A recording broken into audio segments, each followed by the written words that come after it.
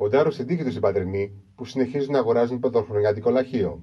Τι γίνεται με τα λαχεία, υπάρχει κίνηση, υπάρχει ενδιαφέρον; Υπάρχει, υπάρχει κάτι, υπάρχει, αλλά όχι μεγάλη όπως ήταν παλιά.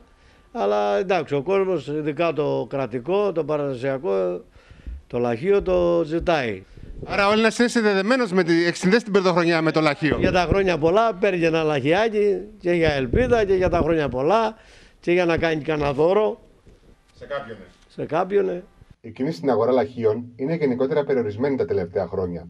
Όμως το πρωτοχρονιάτικο είναι το λαχείο που παραδοσιακά αγοράζεται τις ημέρες των εορτών. Έχει μία πτώση το λαχείο.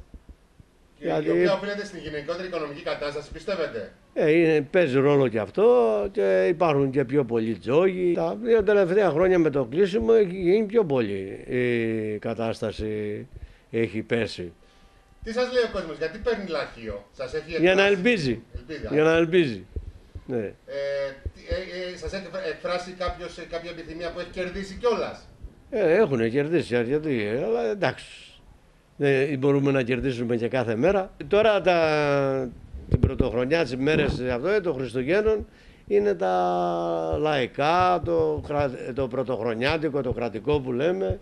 Ε, αυτό. ε, Τα ε, ξυστάκια αυτά που Παίζουν πιο και άμεσα- λίγο, παίζουν λίγο ξυστό, αλλά όχι ε, τόσο όσο τις άλλες, τον άλλο καιρό.